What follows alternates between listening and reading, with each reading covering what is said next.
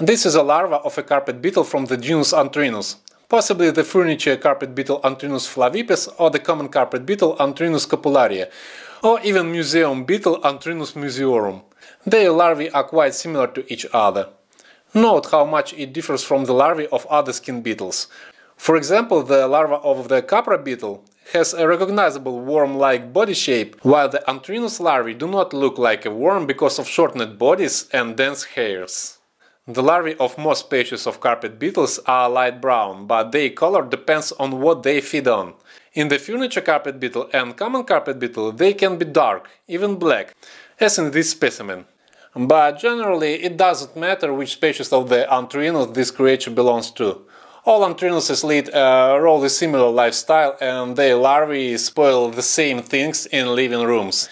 Textiles, fur, leather, woolen clothes and carpets, especially if these things are stored unpackaged in closets and couches.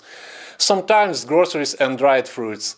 They are omnivores and can feed on almost any organic matter, including the remains of other insects. Adults of these species are much more recognizable than larvae.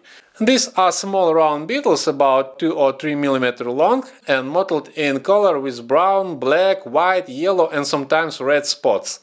These are, uh, for example, red carpet beetles Anthrenus verbasci. This is common carpet beetle Anthrenus scrophulariae from the living room. If you find such bugs at home, be prepared to encounter their hairy offspring. And don't worry too much. These beetles usually do not reproduce in large numbers in living apartments, and special measures to exterminate them are not required. It's enough just to kill those of them that you accidentally come across. If this video was helpful to you, please like it or buy me a coffee. This will help me make more videos like this. And if you still cannot recognize the insects from your apartment, then send me their videos and photos and I will try to identify them for you.